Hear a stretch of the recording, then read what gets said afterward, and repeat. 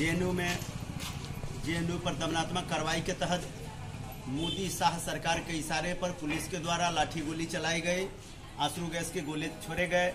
इसके खिलाफ 12 तेरह को पूरे देश में छात्र समुदाय, केंद्र सरकार के गलत नीति का फ़ीस वृद्धि का विरोध कर रहे हैं। पुलिस लाठी गोली का विरोध कर रहे हैं। इसके तहत समस्तीपुर के मालगोदाम चौक से आईसाई नौ जुलूस निकालकर सरकार के खिलाफ प्रतिरोध मार्च निकालेगी। साथ ही भाकपा माले महागठबंधन एवं वाम मोर्चा द्वारा कल पटेल मैदान से संयुक्त मार्च निकाला जाएगा।